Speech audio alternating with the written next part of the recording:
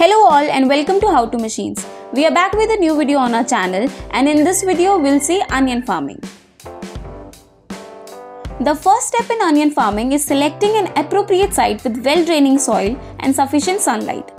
Onion prefer loose, sandy or loamy soil with pH of around 6 to 6.8.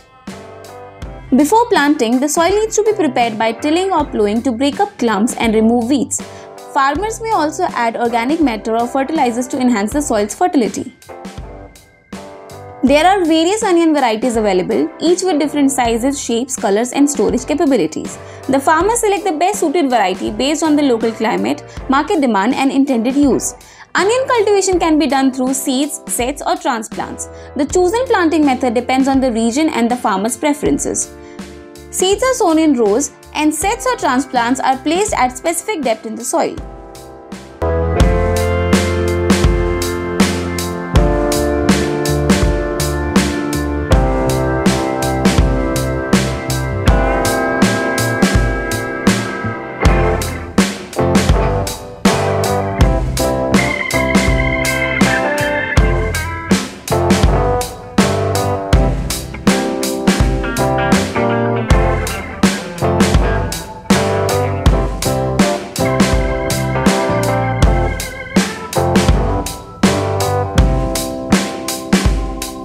Adequate and consistent watering is crucial during onion cultivation, especially during dry periods.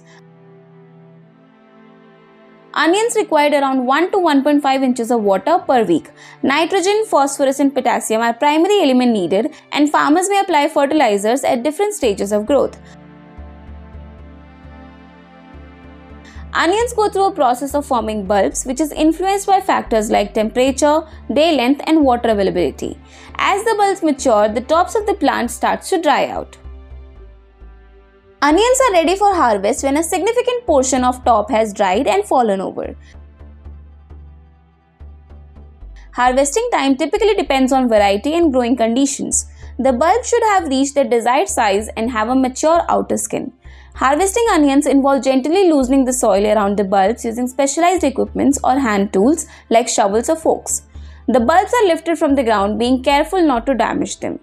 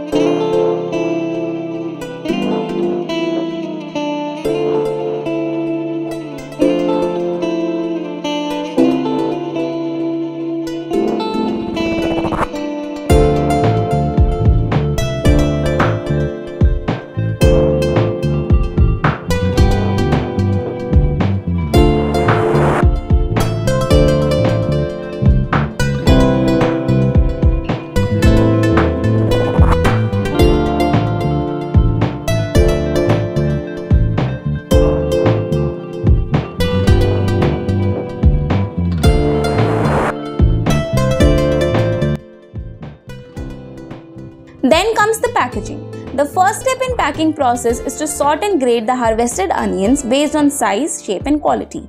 This is typically done using automated machines or manual labor.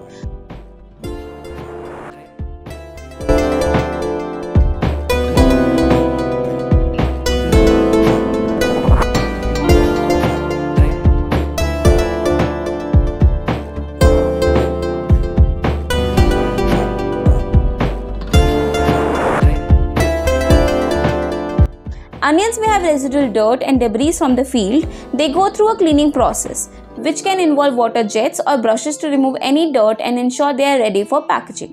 The outer layer of onions may be trimmed to remove damaged or excessively dry parts, leaving only healthy and clean bulbs.